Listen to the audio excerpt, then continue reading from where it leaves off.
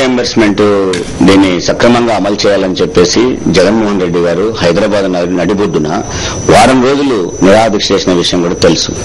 అంటే ప్రభుత్వం ఇవాళ ఇవాళ నిలబడిందంటే కొన్ని సంక్షేమ పథకాలు రాజశేఖర్ గారు తెచ్చిన పథకాలు ఆ పథకాలు అమలు చేసిన తీరు రాజశేఖర్ గారి ఒక భరోసా కాంగ్రెస్ మీద ఒక ఆ రోజుల్లో ఒక భరోసా కల్పించింది ఈ పథకాలే. అలాంటి పథకాలు అధికారంలో తీసుకొచ్చిన పథకాలు ఆ పథకాలు రాజశేఖర రెడ్డి గారు పెట్టిన పథకాలు ఆ పథకాలన్నింటినీ రాజశేఖర రెడ్డి గారి అకౌంట్కి ఎక్కడ పోతుందో లేకపోతే జగన్మోహన్ రెడ్డి గారి అకౌంట్కి ఎక్కడ పోతుందో వైఎస్ఆర్ కాంగ్రెస్ పార్టీ ఎక్కడ మేలు జరుగుతుందో అని ఇవన్నీ లెక్కలేసుకోవడం అసలు పరిపాలన అస్తవ్యస్తంగా తయారు చేసుకొని పరిపాలన సాధ్యం కాకపోతే పరిపాలించడం మానేసుకోవాలి. కానీ ఏ పథకాలు అయితే మిమ్మల్ని అధికారంలో తీసుకొచ్చాయో ఏ రాజశేఖర రెడ్డి గారి అధికారంలో తీసుకొచ్చాడో ఆ రెండింటిని విస్మరించి వాళ్ళ ఫీజు రియంబర్స్మెంట్ అనే ప్రధానమైన పథకాన్ని. మన పేదరికం అనేది ఉన్నత చదువుకు ఆటంకం కాకూడదని గ్రామీణ ప్రాంతం ఉన్న చదువుకు ఆటంకం కాకూడదని పేదరికం అన్న ప్రధానంగా బీసీలకు యాభై రెండు శాతంగా ఉన్న బీసీలకు ఉపయోగపడే ఈ ఫీజు రియంబర్స్మెంట్ ఈ రోజు గర్వంగా పేద పిల్లలు మా మా పిల్లవాడు ఇంజనీర్ అనో మా పిల్లవాడు డాక్టర్ అనో మా పిల్లవాడు ఒక ఇంజనీర్ అనో లేకపోతే మాకు ఉద్యోగం చేస్తున్నానో ఒక ఉన్నత చదువు చదువుకున్నానో గర్వంగా చెప్పుకుంటున్న ఈ ఫీజు రియంబర్స్మెంట్ని ఎందుకని ఈ ప్రభుత్వం తీయాలని చూస్తా ఉన్నది అని కనుక ప్రశ్నిస్తే జవాబు దొరకడం లేదు. కాన్షియస్ గానే కావాలనే ప్రభుత్వం నిర్లక్ష్యం వహించింది. ఈ రోజు మనం చూసాము ఇప్పటికి రెండు నెలలు ఇలా కౌన్సిలింగ్ అడ్మిషన్స్లో లేట్ అయిన పరిస్థితి కనపడుతూ ఉంది. ఇది కూడా కొనసాగుద్దా అంటే ఖచ్చితంగా ఫీజు రెంబర్స్మెంట్ రద్దు చేస్తారనే చర్చ కూడా సాగుతా ఉన్నది. ఇవాళ ప్రభుత్వ నిర్లక్ష్య ఫలితంగా ఇవాళ ఇవాళ కాలేజీలు కూడా కొన్ని ఒత్తిడి చేసిన ఫలితంగా రెండు కాలేజీలలో వరలక్ష్మి అనే ఒక దళిత బిడ్డ ఇవాళ హైదరాబాద్ పక్కనే చనిపోయిన విషయం కూడా మనం చూసాము మరో విద్యార్థి చనిపోయిన విషయం కూడా చూసాము అసలు ఈ ఫీజు రియంబర్స్మెంట్ ఉంటుందా ఉండదా? మేము చదువుకుంటామా చదువుకోమా? మధ్యన ఆగిపోతామా? ఇంజనీర్ అని చెప్పుకున్నామే. మేము చదువు బతుకుల మధ్యన ఉన్నామే. రోడ్డు మీద ఉన్నామని పిల్లలు ఇవాళ అల్లాడుతా ఉన్నారు. పిల్లల తల్లిదండ్రులు అల్లాడుతూ ఉన్నారు. ఈ స్థితిలో ఎస్టీ ఎస్సీ బీసీలకు ఉపయోగపడుతున్న ఈ ఫీజు రియంబర్స్మెంట్ ఏదైతే దీన్ని కాన్షియస్గా కావాలనే ప్రభుత్వం ఇవాళ దీన్ని దెబ్బతీస్తా ఉన్నది. ఇవాళ నిర్లక్ష్యం ఫలితంగా ఒక నాలుగు వందల కోట్లు అదేవిధంగా విద్యార్థులకు కూడా భారాన్ని తీసుకొచ్చి పెడతా ఉన్నది. అంటే ముప్పై ముప్పై ఒక్క వేల వేల రూపాయలతో అడ్మిషన్ ఇవాళ యాభై వేల రూపాయలు చెలరవుతున్న స్థితి కనపడుతూ ఉన్నది.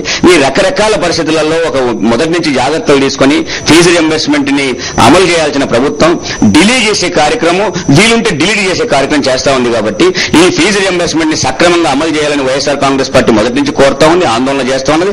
అందులో భాగంగానే మన పార్టీ వైఎస్ఆర్ కాంగ్రెస్ పార్టీ గౌరవ అధ్యక్షురాలు విజయమ్మ గారు ఇవాళ దీక్ష చేయడానికి సిద్ధపడ్డారు. మొన్న సిరిసిల్లో చేనేత విషయం మీద దీక్ష చేయడం జరిగింది. మత్స్యకారుల విషయాలు విశాఖపట్నంలో కానివ్వండి అట్లాగే దళితుల మీద దాడులు జరిగినప్పుడు శ్రీకాకుళంలో కానివ్వండి విజయమ్మ గారు వెంటనే సమస్యని స్పందించడం అనేది జరుగుతూ ఉంది పార్టీ. ఇప్పుడు ఏలూరులో కూడా ఇలా పన్నెండు పదమూడు తేదీలలో ఫీజు రియంబర్స్మెంట్ని ఖచ్చితంగా అమలు చేయాలని వెంటనే అమలు తీసుకోవాలని అడ్మిషన్ ప్రారంభించాలని చెప్పి విజయమ్మ గారు దీక్ష చేయబోతోంది. రెండు రోజులు ఈ దీక్ష కొనసాగుతుంది. సార్ ఇంకో విషయాన్ని కూడా అంటే ఈ ప్రకటనలో విడుదల చేయడం జరిగింది. ఆహార ధర ఆహార ధరలు ద్రవ్యోల్బణం ప్రాతిపదికన S C S T B C విద్యార్థుల మెస్ ఛార్జీలు పెంచాలని చెప్పి కూడా పార్టీ డిమాండ్ చేస్తున్నట్లు. అంటే పూర్తిగా మెస్ ఛార్జీల విషయంలో కూడా వైఎస్ఆర్ కాంగ్రెస్ పార్టీ ఫైట్ చేయబోతుంది ఖచ్చితంగా అండి. ఇప్పుడు ఫీజు రియంబర్స్మెంట్ ఇవాళ మనం చూసాం ఇవాళ పేపర్లలో వస్తా ఉంది. ఇంటర్మీడియట్ ఫీజులు కూడా పెంచబోతుంది గవర్నమెంట్ అని. అంటే ప్ర- ప్రధానంగా కావాల్సింది విద్య వైద్యము ఉపాధి అనే మూడింటి మీద రాజశేఖర రెడ్డి గారు ఆధారపడి ఈ ఈ రాష్ట్రంలో అభివృద్ధికి ఆయన కాంక్షించాడు ఆ విధంగా ప్రయత్నం చేశాడు. ప్రతి విద్య విషయంలో కానీ వైద్య విషయంలో కానీ ఇలా ప్రభుత్వం తీసుకుంటున్న నిర్లక్ష్యాలు చూసినట్టయితే విద్య విషయంలో స్కాలర్షిప్లు కూడా మేము చూసినట్టయితే ధరలు పెరిగిపోతున్న తీరు చూసాము ఆ ధరలు పెరుగుతున్న కొద్ది క్వాంటిటీ తగ్గిస్తున్న తీరు ఇలా విద్యార్థులు పడుతున్న పరిస్థితి స్కాలర్షిప్లు కూడా వాళ్ళ సరిపోని స్థితిలోకి వస్తున్న తీరు కనపడుతోంది అంటే సాధ్యమైనంత వరకు ఎంత చదువులు మానేస్తే అంత ప్రభుత్వానికి మేలు జరుగుతుందని ప్రభుత్వం భావిస్తే అది ప్రజాప్రభుత్వం ఎలా అవుతుంది? అది ప్రజల ప్రభుత్వం కాదు. దురదృష్టకరం ఏంటంటే అధికార పక్షం ఈ విధంగా ఆ, నిర్లక్ష్యం వహిస్తున్నప్పుడు ప్రధాన ప్రతిపక్షం ఫైట్లో ఉండాలి.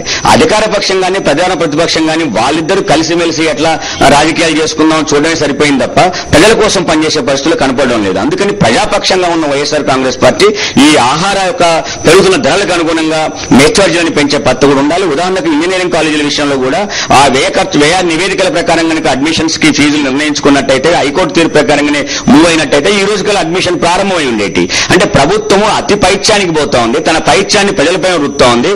పిల్లల బతుకులతో చలగాటం పడుతా ఉంది. ఖచ్చితంగా పెరుగుతున్న ధరలకు అనుగుణంగా పిల్లల మెచ్చార్జీలు కానీ స్కాలర్షిప్ స్కాలర్షిప్లు కానీ పెంచాల్సిన అవసరం ఉన్నది. విద్య విషయంలో వైఎస్ఆర్ కాంగ్రెస్ పార్టీ ప్రాధాన్యతనిస్తుంది. ఆ ప్రాధాన్యతతోనే ఈ రాష్ట్రం అంతా కూడా ఈ సమస్యల నుంచి బయటపడడం కోసం పోరాటం చేస్తుంది. విద్యార్థుల మీద వెంటుండి కూడా వైఎస్ఆర్ కాంగ్రెస్ పార్టీ పోరాటం చేస్తుంది.